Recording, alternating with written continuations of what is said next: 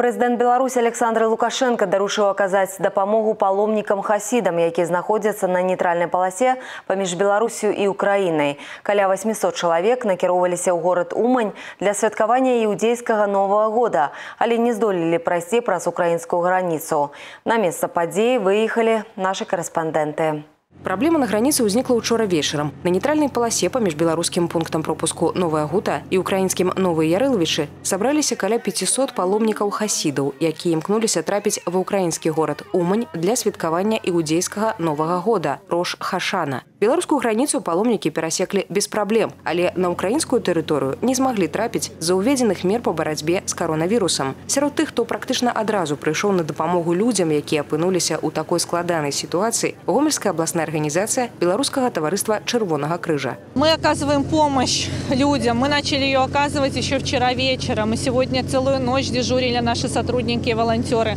Мы раздавали горячее питание, горячий чай. Э, детям маленьким выдали одеяло, потому что ночь была очень холодная. Дети замерзали, они спали прямо э, на асфальте, на полу.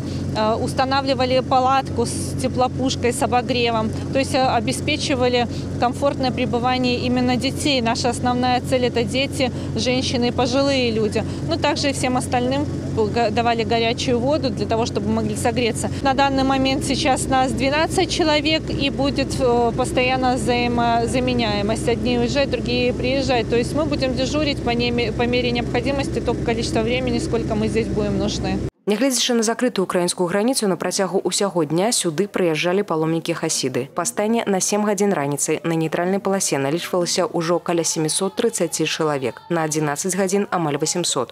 Бадай самая вялікая праблема, з якой сутыкнуліся людзі, адсутнасць умоў для больш-менш працяглага знаходжання на нейтральнай тэрыторыі. У размове з журналістамі яны кажуць, што не ведалі аб закрыцці граніцы і не разумеюць, чаму папярэднія групы здолелі яе перасекчы, а ім забаранілі.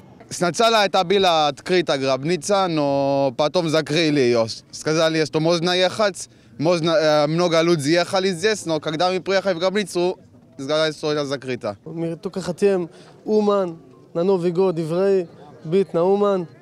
Есть там много людей, есть там э, мусульман, есть там христиан. И тоже еврей хочет на Уман.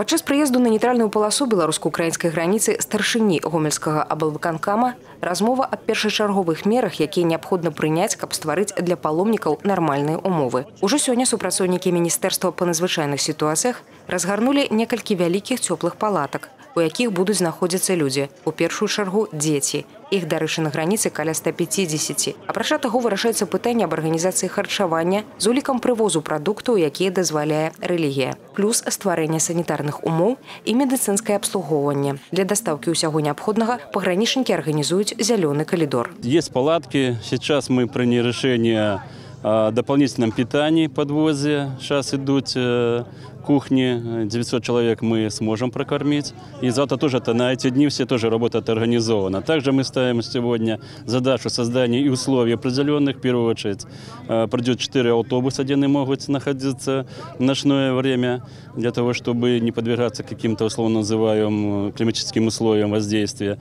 Ну и, конечно, создадим условия, это биотуалеты, подвезем воду, создадим элементарные условия. Но остальное уже за действиями другой стороны для того, чтобы принять решение по их дальнейшему продвижению. Пераважная большасць паломнікаў, якія знаходзяцца на нейтральнай паласе беларуска-украінскай граніцы, грамадзяне Ізраіля. Разам з імі паляпшэння сітуацыі чакаюць таксама жыхары Великабрытаніі, ЗША, Францыі і Польшы. Меры, якія зараз прымае беларускі бок, ацэньваюцца адназначна. Словы Беларусь гуд тут можна пачуць часта. Пры гэтым паломнікі вельмі спадзяюцца, што з дапамогай нашай краіны сітуацыя вырашыцца на іх карысць. We want to say thank you мы хотим поблагодарить Беларусь и ее правительство. Прекрасные, очень добрые люди. Спасибо за готовность помочь. Кроме того, спасибо Украине за то, что они все-таки откроют границы. Олег Сенцюров, Ольга Коновалова, Валерий Гапанько, телерадиокомпания «Гомель» с белорусско-украинской границы.